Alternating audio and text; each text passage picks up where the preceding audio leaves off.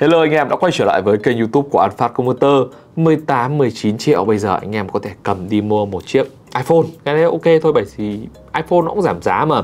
Thì với 18-19 triệu, nếu như anh em nào mà có nhu cầu, Thứ nhất là chúng ta đang cần bộ PC nhỏ gọn này, Cái thứ hai là chúng ta đang cần một sản phẩm có P P tốt, Và cái thứ ba là nhu cầu chơi game của chúng ta Là chơi tất cả tựa game trên độ phân giải là 2K Thì anh em có thể cân nhắc một cấu hình mà mình đang có ở đây. Vì sao mà mình lại có thể tự tin như vậy? Bởi vì cái thứ nhất là linh kiện bây giờ cũng đã về trong những cái mức giá mà theo như mình đánh giá cá nhân nhé là khá tốt rồi. Tất nhiên là mình sẽ xét trên cái cạnh là chúng ta mua những cái sản phẩm mới 100% không phải những sản phẩm châu cày. Những sản phẩm châu cày thì giá nó ảo ma lắm chúng ta không thể nào biết được. Thì ở đây thì mình đã build sẵn một cái cấu hình mà anh em hoàn toàn có thể tham khảo để có thể lựa chọn.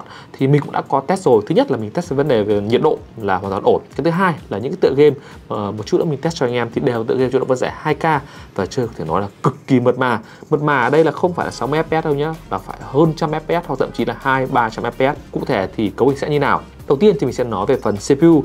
CPU hiện tại thì chúng ta vẫn có thể mua những dòng Gen 12 bình thường, bởi vì Gen 12 và 13 sẽ hoạt động song song với nhau luôn.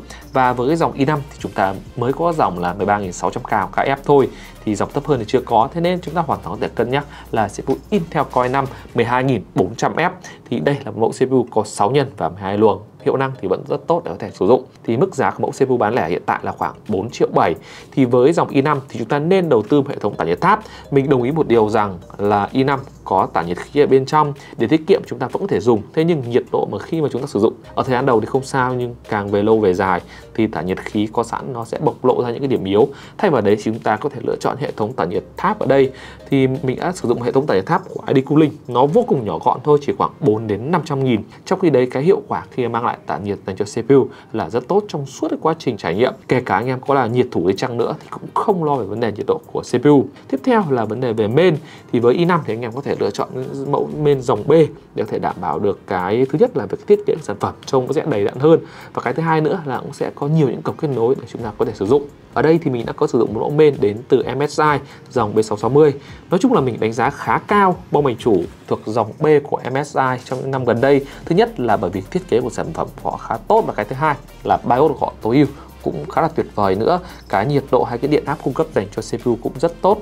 Anh em hoàn toàn có thể cắm, trên cái mẫu bên này, anh em hoàn toàn có thể cắm được cả i7 lên vẫn có thể hoàn toàn ok. Thậm chí là anh em có thể đợi thì chúng ta mua những cái dòng Gen 13 chỉ cần update BIOS thôi cắm lên là nhận luôn.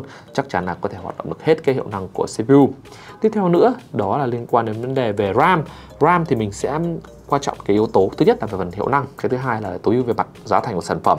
Thì khi mà chúng ta chơi game rõ ràng hai thanh ram 8 GB với tổng dung lượng là 16 GB chắc chắn sẽ là một trong những option mà anh em sẽ phải cân nhắc. À, khi mà chúng ta sử dụng những cái tựa game thông thường sẽ chỉ ăn từ 8 đến 12 GB thôi. Thế nên 16 GB sẽ tối ưu nhất bởi vì cái bộ bài chủ này vẫn còn hai khe thừa nữa để anh em có thể nâng cấp về lâu về dài. Còn trước mắt, chúng ta nên sử dụng là hai tiếng ram để có thể đảm bảo được về mặt giá thành. Đây mới là cái yếu tố quan trọng mà mình muốn nhắc đến cho anh em, đó chính là về phần card họa. Card họa có thể chơi game ở chế độ phân giải 2K thì à, ở đây mình lựa chọn là RTX 3060 đến từ Asus. Thì đây là một phiên bản, mình có thể nói là phiên bản mini với hai fan. Cái sản phẩm nó sẽ nhỏ gọn hơn, thì cái nhiệt độ sẽ chỉ nhỉnh hơn so với phiên bản to một chút thôi. Nó không nhiều đâu, anh em cũng không cần phải quá lo lắng đâu. Khi mà mình ở đây mình sử dụng mỗi hai quạt thôi, nhiệt độ vẫn rất ổn định, thì khi anh em đóng nắp vào thì so với cái cách mình test thì anh em có thể cộng thêm từ 2 đến 3 độ nữa. Tất nhiên thì nếu anh em muốn mát mẻ thì có thể đầu tư thêm những hệ thống quạt ở đằng sau để có thể đảm bảo được cái yếu tố ờ, lưu lưu gió ở trong cái bộ PC chúng ta. Thì về RTX 3060 nếu như anh em nào mà quan tâm đến cái ờ, điện năng tiêu thụ của sản phẩm thì sẽ loanh quanh khoảng từ là 140 đến 160 hoặc nhiều lắm thì là 170W thế nên chỉ cần một cổng cấp nguồn 8 pin thôi cũng đã đủ để cung cấp điện dành cho em RTX 3060 rồi. Thì với những cái tựa game online ở trên thị trường, kể cả online mới hay là cũ, anh em hoàn toàn có thể chơi được max setting, kéo tất cả max setting thì đều khoảng là hơn 200 fps với một số tựa game, nếu anh em mà biết setting ấy, thậm chí có thể đạt được 3 đến 400 cái này thì anh em có thể tự tối ưu riêng nhé còn với những tựa game offline thì sao? Với câu chuyện tự game apply thì chúng ta sẽ phần phải uh, suy nghĩ một chút. Với những tựa game có ray tracing thì câu chuyện này sẽ hơi khó. Còn những cái tựa game mà anh em không cần phải bật ray tracing anh em có thể tận dụng những cái thứ có sẵn ví dụ bật công nghệ DLSS chẳng hạn. Và cái thứ hai nữa là chúng ta sẽ mở cái setting bình thường thôi thì vẫn có thể kéo max setting được. Kể cả một tựa game như Horizon Zero Dawn thì mình mở Ultimate Setting vẫn có thể chơi được. Thế nên khi mà anh em chơi những cái tựa game offline thì hoàn toàn có thể an tâm nhá. Có những tựa game nào mà nặng hơn cái tựa game đấy nặng quá ấy, thì chúng ta có thể cân nhắc kéo về hai setting. Còn về mặt bộ nguồn sản phẩm thì ờ, mình ở đây mình sử dụng một bộ nguồn 600W để có thể cân được hệ thống. Mình thì sử dụng nó hơi thừa một chút. Tất nhiên thì anh em vẫn có thể sử dụng những bộ nguồn khoảng 500W miễn là công suất thực là đã có thể gánh cái dàn này hoàn toàn thoải mái rồi. Và bây giờ sẽ là phần trải nghiệm hiệu năng.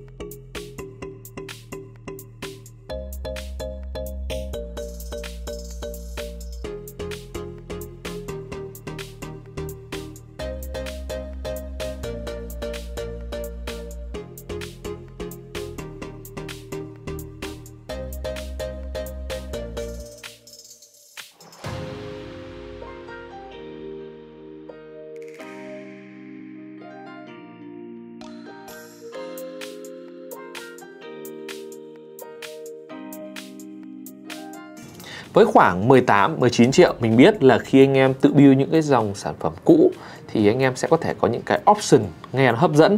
Tất nhiên thì đấy là nhu cầu của anh em thôi. Còn nếu như anh em nào mà muốn mua những cái sản phẩm mới 100% này, Tất cả đầy đủ bảo hành và không sợ lo lắng về vấn đề trâu cày, Nếu có lỗi lầm thì mang đến một nơi để có thể bảo hành, Thì cũng có thể cân nhắc. Câu mình đang có sẵn ở đây, Mọi cái sự tinh tế nhỏ gọn thì đều có.